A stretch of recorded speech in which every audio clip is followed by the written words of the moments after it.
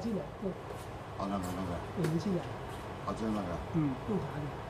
男子鬼鬼祟祟，全身包紧紧，庙里面匍匐前进，爬一爬突然静止，像怕被抓包什么，四处环顾。真的有人侵入我，哎，有人侵入。真的！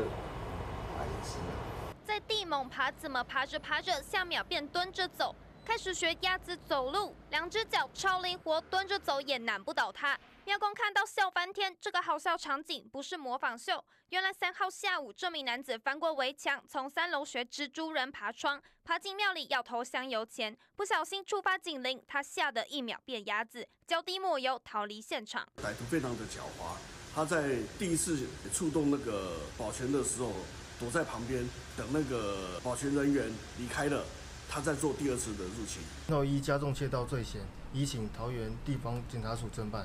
大胆闯庙偷钱，太岁头上动土，警方巡线八小时逮到人，以为鸭子划水成功逃逸，没想到搞笑一幕全被录下，实在让民众哭笑不得。记者桃园采访报道。